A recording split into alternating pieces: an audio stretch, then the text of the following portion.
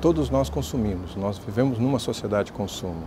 Acontece que nesse final de século XX, início do século XXI, nós chegamos a padrões de consumo muito grandes, com uma população que cada vez cresce mais.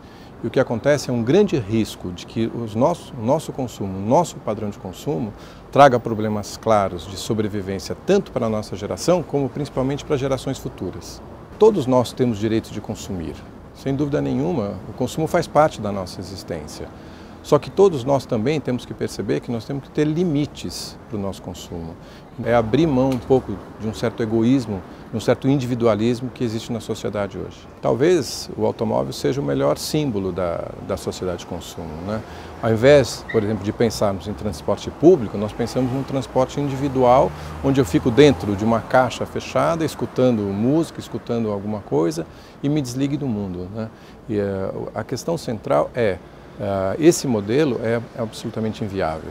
Todos nós temos o direito de ter um automóvel, mas se todos nós tivermos, exercermos o direito de ter um automóvel, a cidade literalmente para e não anda mais. Eu acho que o tema do automóvel é a melhor porta de entrada para a discussão do tema do consumo sustentável.